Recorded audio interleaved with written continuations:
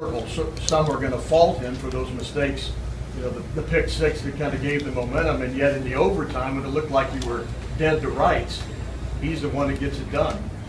Well, that's, uh, uh, I would have to imagine, you know, I remember when I went to do his home visit, and you see the quality of people, best friend, uh, family that's so close to him, excuse me, and uh, his family.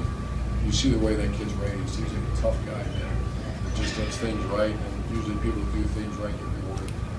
Far right to the white. Uh, Coach JT really is, uh, his confidence is getting better and better each game.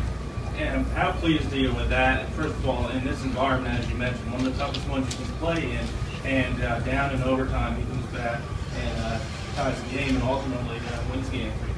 Well, the confidence got a little rattled there in the second quarter, uh, and then obviously the third quarter, nobody was rallying, it was a pick six. That kind of environment got rattled. You know, to say he was walking around like an extremely confident quarterback in the third quarter, that wasn't the case.